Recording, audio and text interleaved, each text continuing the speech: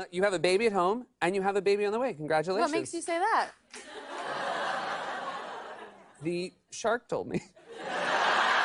You know, you don't ever say that to a woman. You- Mom actually went up to someone that she hadn't seen in years. She goes, oh, "Congratulations, and you're so far along." Oh no. She's like, "Eh, "I'm not. Oh. It's even a little bit far along. oh no. yeah. That's really rough. yeah, it was tough. So. Um, How are you? Are you excited though? I mean, Yes, you're a- guessing correctly. Okay, yes, good. this All is right. not brownies. I'll let you off the hook. Um,